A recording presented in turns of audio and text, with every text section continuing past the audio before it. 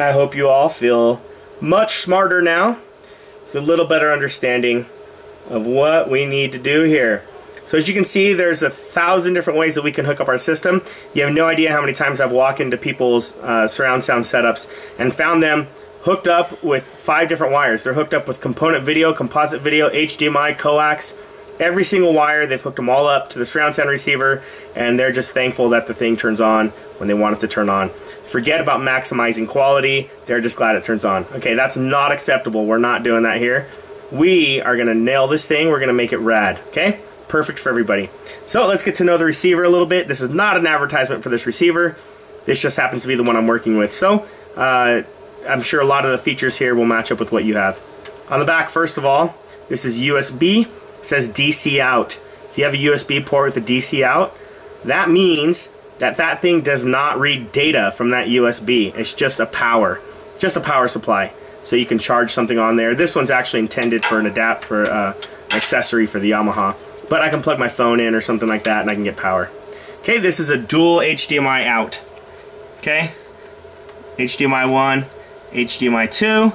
Um, this one right here, if you look real closely, let me see if I can zoom in on that sucker. Real small lettering right there says ARC. Beware of ARC. Stay away from ARC. ARC is audio return channel, which they used to think it'd be pretty cool if you could run one HDMI cable. I guess they it's this is a new receiver, so they still think it's cool.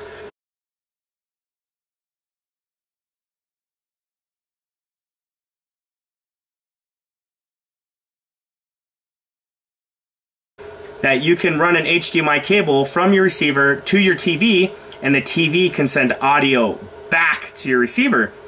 So if you're streaming YouTube or something like that from your TV, Instead of the sound coming out of the TV, it could go through the audio return channel, come back out here through the receiver, and you can have uh, your TV sound through your receiver. Bad, bad, bad. Okay, when you need, when you use the ARC, you have to activate functions like HDMI CEC and other HDMI controlling devils. We don't want those. Turn those all off. HDMI CEC is bad. When you HDMI CEC, what that is, is when I hit power on my Blu-ray player, my receiver says, oh, he wants to watch Blu-ray. So I'm going to go and I'm going to turn on and I'm going to go to the Blu-ray channel and then the TV says, oh great, I'm also going to go to the Blu-ray channel. No, we don't want that. That's going to start, it starts messing things up and then you turn off the Blu-ray player, but you're watching TV. And since you turn off the Blu-ray player, says, oh, you must be done watching TV, I'm going to go ahead and shut off everything. No, I'm not done watching TV, I'm just done with the Blu-ray player. So, it's a mess. Don't use it, don't use your audio return channel that's a cool feature that sounds like, but useless. Okay, there's your HDMI outs. Up here are your HDMI ins. As you can see, we've got a plethora. I do not have near that many uh, devices, so uh, right here is your network connection. This is going to allow you to stream music and content directly to your receiver. Um, in this case, this receiver also receives IP commands. So, if I have an automation system that, um, say, a really high-end automation system, and I want to control this receiver, well, those little blasters that you stick on the front, that's caveman. It's cave. If somebody does that to you, they need to be punished. If you have an installer come to your house and he puts a little sticky on the front of your high-end receiver, punch him. Then go to his house, spray paint his front door, key his car, because he hates you. That's the only excuse. That's the only reason he'd ever do that. Okay? If you have an, uh, the ability to use IP control, do it. So much faster, so much more reliable. You can get two-way communication. It's it's it's the only way to go. Okay, so I love this network connection for the network because I do stream music directly to my receiver, but I also control my receiver through that too. Okay, this is a wireless dongle. I'm not going to use it because I don't believe in wireless. So uh, I just put it on there because it came with it. All right, moving down, RS-232. This is another way that you can control your uh, system. You can send commands. Nobody likes IR. You know, high-end installers, they don't like IR. It's, it's unreliable. It's messy. Those sticky things come unplugged. It's just a pain in the butt. Um, so RS-232 is another option. Um, I prefer network, but RS-232 is good too. Okay, over here, now, speaking of which, it says, let me see if I can zoom in. I'm sorry if this guy's shaky. It says Remote, in, out, in, out. What? Okay, So we just talked about how you can use those little blasters, those little infrared blasters, and you could stick it to the front of your receiver. Well, those things always come unstuck. They're terrible. If you have a receiver that does not have RS-232 and does not have network capabilities, or if you do not have a remote control system that's capable of doing those, do not stick a sticky on the front of your receiver. You use these guys here. This is infrared control.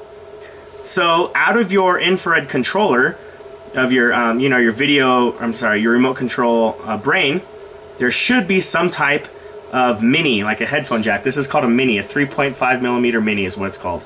There should be a mini that comes out, and that mini would go out to your blaster. Well, in this case, you get a mini to mini, so you come out of your remote control processor with one mini and go in with your other mini. Okay? Uh, that's another option. Um, I've done that a thousand times. Um, people that just don't have a need for a fancy surround sound uh, control system.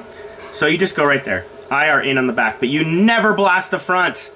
Never blast the front. Only terrorists and cavemen do that.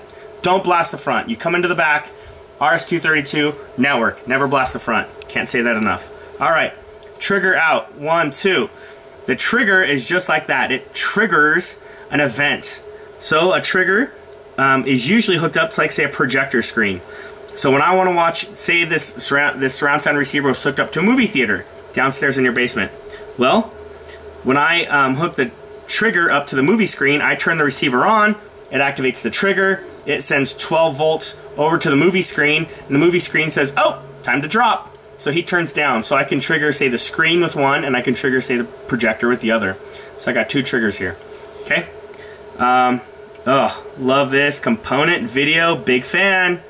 Big fan of component video. Too bad we don't use it anymore. Loved it when it was out. I've got uh, component video out, and I've got three component video inputs. We're going to use those today. Alright, moving over here to the left. This is the phono input. The phono input is your old record player. Um, believe it or not, record players are making a comeback because they uh, it's the best sound quality that you can get. So pure vinyl on a nice record player, that's your money right there. There's your ground screw with your two inputs. That's phono. Alright, everything else right here is going to be pretty standard. This is audio video 1. Composite video. Composite audio. Yellow, white, red. Not high definition, but still pretty reliable. What is that down there? Oh my gosh, it's a digital coax. It's orange. Now you're looking at this going, wait a second, why would somebody use composite video, standard crappy video, maybe some analog audio, and then use this digital? Well, uh, we'll get there in a second. Okay, moving on. AV1, AV2, these guys are identical. AV3, look down at the bottom of AV3, we have an optical.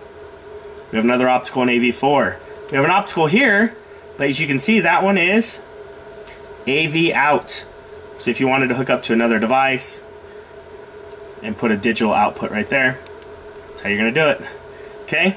Now these are just pure audio connections. Audio 1, audio 2, look at that. There's another optical there, digital coax. Audio 3, oh my gosh, what is this? Multi-channel input. What the heck?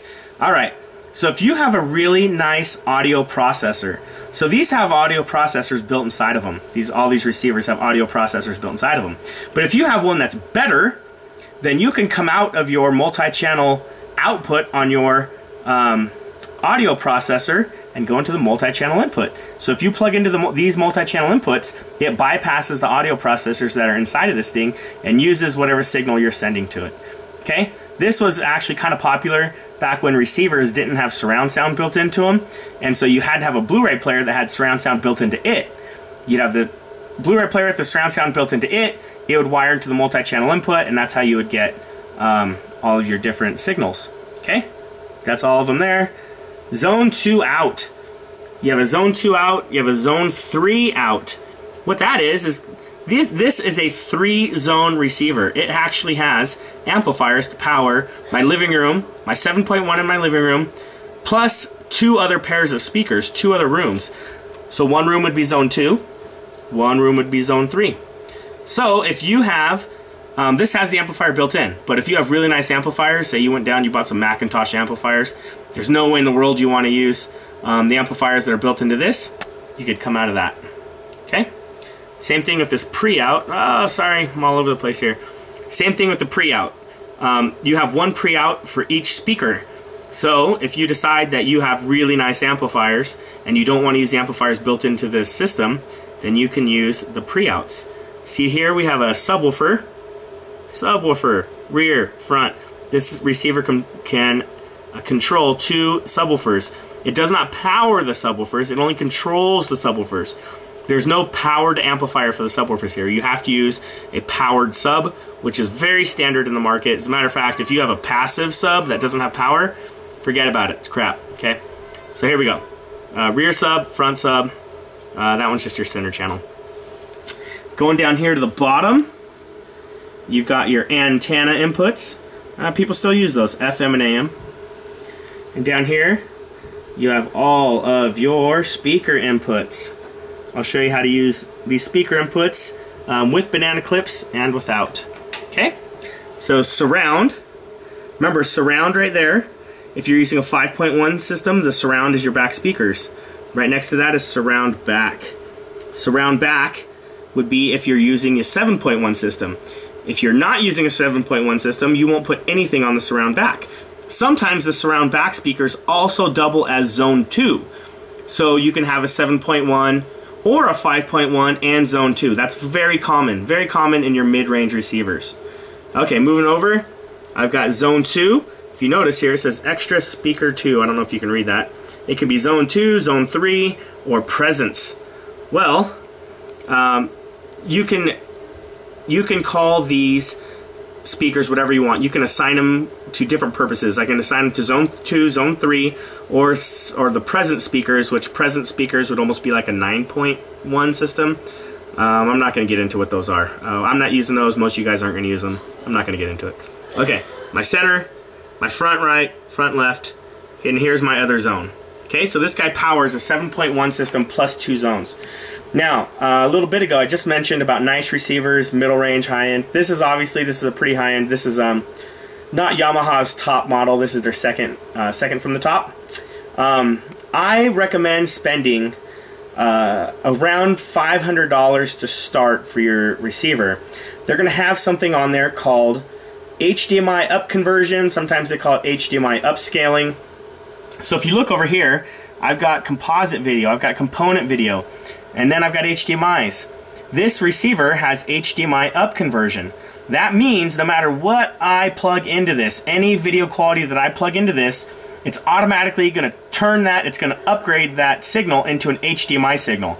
So I can plug in a Wii over here, Wii with a red, white, yellow, um, an old DVD player, a VCR, uh, an old, um, uh, another old DVD player, or I don't know, anything else. I'm going to have a TiVo here with component video. I can plug in all these different video sources here, and then boom, one HDMI out to the TV, and I don't have to switch inputs on the TV anymore. I'll leave my TV on HDMI 1 forever, and every time that I change inputs on this receiver, it automatically changes the video. So it's an upgrade in picture quality a little bit, does a little bit of upgrade in picture quality, um, but it's an upgrade in, in, connectivity. It's great, fantastic. Um, I really don't recommend buying a receiver unless it has HDMI up conversion or HDMI upscaling. It's really important. Um, if you do not have HDMI upscaling or up conversion, don't hook up your video to the receiver. Don't hook up any video to the receiver. The re video all has to go to the TV. So the receiver only gets audio. Okay? Now, so that's this that up conversion is going to be in about the $500 range. Also in about the same range is going to be something called assigning inputs. So we talked a little bit ago about why is there a digital coax or an optical audio tied to these low quality signals? Well, the reason is is these are assignable. So if you look, it says one coaxial, two coaxial, three optical, four optical, five optical, six coaxial. I can actually assign these inputs to any video input that I want. I can assign these audio inputs to any video input that I want. So I can take my uh, my old TiVo and I can hook my old TiVo up to the video here and I can pick up this audio here. And then in the menus, uh, when I fire this thing up, all I have to do is just assign the two together. We'll do that. I'll show you guys how that works. So now that you guys got to know my receiver, let's start making some connections.